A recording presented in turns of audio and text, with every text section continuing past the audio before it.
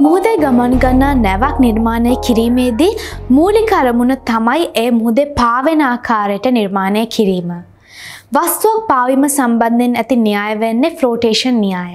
ඉතින් එයින් කියවෙන්නේ ඕනෑම පාවෙන සිරුරක බර ඒ විස්ථාපනය කරන ද්‍රවය බරට සමාන වන බව.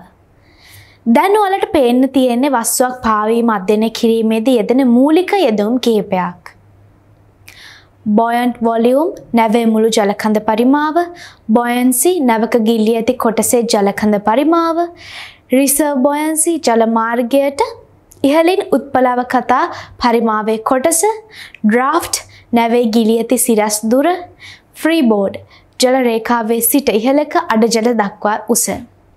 නැවක් මුහදේ ගමන් කිරීමේදී එකමත එදෙන බාහිර බලයක් නිසා රෝලිං පිචිං වලට භාජනය වෙන්න පුළුවන්.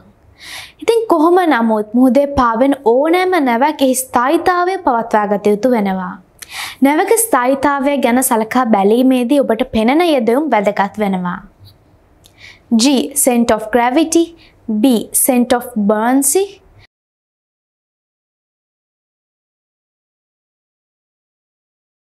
M. Meta center පාවන නැවක ස්ථායිත අවස්ථා තුනක් තියෙනවා.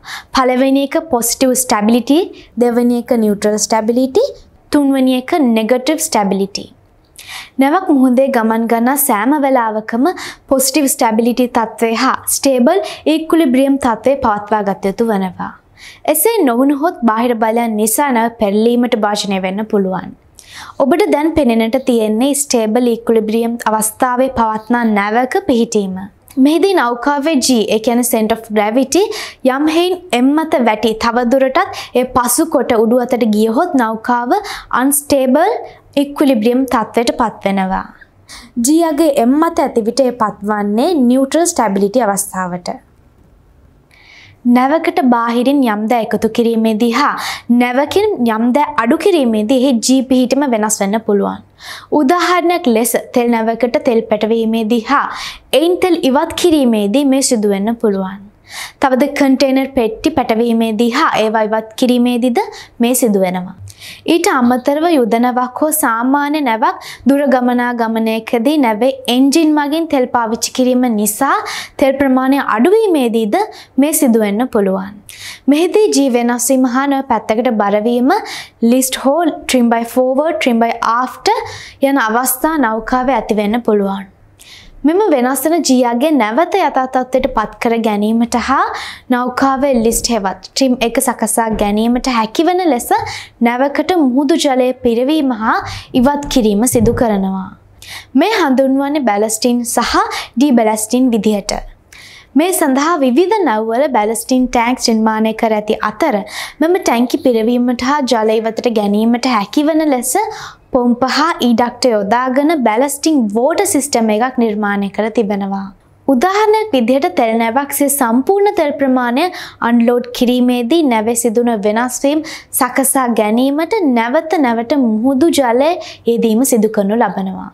එසේ නොවුනහොත් නැවේ ස්ථායිතාවය පවත්වා ගැනීමට අපහසු වෙන වගේම නැවේ අවර පෙත්ත රඩ වැනි දෑ මුහුදු ජලයෙන් ඉහළට හෙපිලීම නිසා නැව ධාවනයද සිදු කළ නොහැකි තත්ත්වයට පත්වෙන්න පුළුවන්. ඔයාලට දැන් පේන තියෙන බැලස්ටිං වල ඇති මූලික අවශ්‍යතා. නෞකාවේ ආනතිය අඩු කරයි, තීරයක් ස්ථායිතාවය සපයයි, ප්‍රපල්ෂන් කොන්ට්‍රෝලිං ඇති කිරීමට, රඩර් කොන්ට්‍රෝලිං ඇති කිරීමට ඉන්දන හා ජල පරිභෝජනය ඇතිවන බර නැවත ගැනීම සඳහා.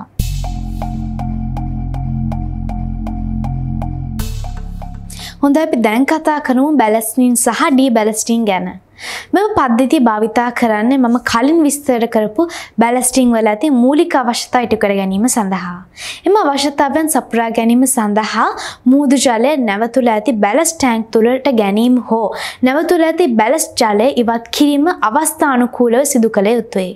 නෞකාවල ඇති වෙනස්කම් අනුව උදාහරණයක් විදිහට ගත්තොත් තෙල් රැගෙන යන නෞකා බාණ්ඩගෙන යන නෞකාවල බැලස් ටැංකි පද්ධති විවිධ නිමානවලින් නෞකා තුළ ස්ථාපිත කර තිබෙන අතර හදිසි අවස්ථා තත්ත්වයන්ට මුහුණ දීමට මෙම පද්ධතිය නෞකාව ඇති පිරිසිදු ජල පද්ධතින් සමග සම්බන්ධ කළ හැකි වෙන අයුරින් නිර්මාණය කොට තිබෙනවා.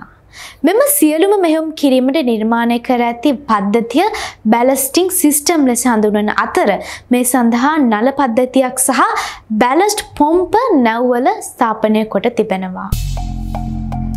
බැලස්ටෑන්ක් බැලස් ටැංකි බෝට්ටුවක් නැවක් හෝ ජලය මත පාවෙන වෙනත් විවිහයක් තුළ ඇති මැදිරියක් වන අතර ඒ ආශ්‍රාවකට ස්ථාවරත්වයක් ලබාදීම සඳහා බැලස් ලෙස භාවිතා කරනවා. පැරණි යාචාවල භාවිතා කරන ගල් හෝ යකඩ බැලස්ටවලට වඩා ටැංකික ජලය භාවිතා කිරීම යම් පහසුකමක් ලබා දෙනවා. බැලස්ටැන්ක් ප්‍රොටෙක්ෂන් බැලස් ටැන්කිය මුහුදු ජලයෙන් පිරි ඇති නිසා අය අධික ලෙස විකාදනයට ලක්වෙන්න පුළුවන්. එම නිසා ටැන්කිය මතුපිට ආලේප කිරීම නෞකාවේ භාවිතා වන වඩත් පොදු ආරක්ෂණ පද්ධතියක්. ආලපනේ ඇති වාසිය නම් ඒ වරකට මුළු ටැංකියම ආරක්ෂා කරන අතර නිවැරදි ගුණාත්මක භාවයෙන් යුතු ආලේපනයක් යොදන්නේ නම් බැලස් ටැංකියට කිසිදු ගැටලුවක් නොමැතිව දිගු කාලයක් පවතින්න පුළුවන්. බැලස් ටැන්කිය පිටිපස ඇති මූලික සංකල්පය බ්ලෝෆිෂ් ආගනට් ඔක්ටපස් වැනි බොහෝ ජලජීවීන්ගෙන් උකාගෙන තියෙනවා.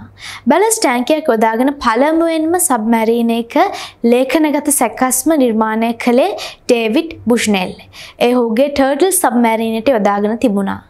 එක්දා සටසි හතලිස් නවේදී එවකට ඉලිනොයි නීතිඥයකු ඒබ්‍රහම් ලිංකන් උතුරු ඇමරිකානු ගංගාවල බාණ්ඩ ප්‍රවාහනය කිරීම සඳහා නැව් යාත්‍රා සඳහා බැලස් ටැන්කි පද්ධතියක් සඳහා පේටන් බලපත්‍රයක් ලබාගෙන තිබෙනවා.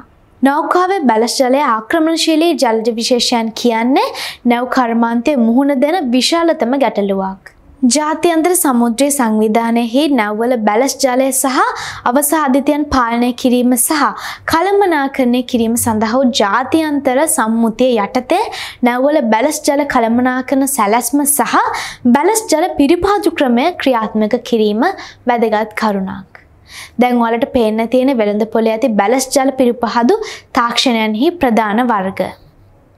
filtration system, chemical disinfection, non-oxidizing, ultraviolet treatment, deoxygenation treatment, heat, acoustic, electric pulse, pulse plasma systems, magnetic field treatment, හොඳයි මම කතා කරපු දේවල් එක්ක මම හිතනවා ඔයාලගේ දැනුමට ඒ දේවල් වැදගත් වෙයි කියලා. ඒ වගේම මම හිතනවා ඔයාලට නැව් පිළිබඳ යම් දැනුමක් ලැබෙන්නේ නැති කියලා.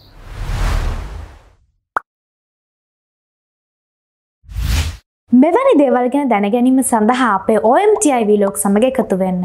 අමතක නොකර අපේ YouTube channel එක subscribe කරන්න, like කරන්න, share කරන්න.